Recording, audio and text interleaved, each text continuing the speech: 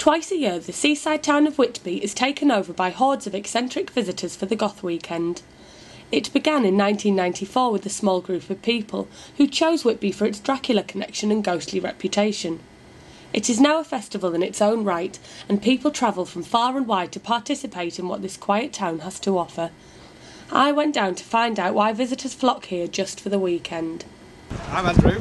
Uh, we came to Whitby because uh, we just enjoy dressing up and showing off. The way everyone dives into it, takes part, and the fact that the whole of Whitby just looks, you know, it doesn't matter what genre of the goth style you're into, whether it's the steampunk, the Victorian, the romantic, everybody seems to just get on with it and enjoy it, and it's a good family event as well for people when they're going out strolling. Yeah, well, I like to dress up and mingle, like the music and things. It's just great fun. The festival has developed quickly, with dozens of activities lined up for participants over a four day weekend, from pub crawls to marketplaces, where everything from gothic art and custom sketches to headwear adorned with syringes and skulls are on offer. I spoke to Thomas Williford to find out why he loves Whitby Goth Weekend so much.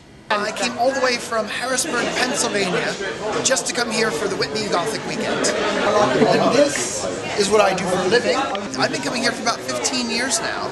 Uh, I think I've missed four Whitbys in 15 years, and it's been going on twice a year for quite some time now.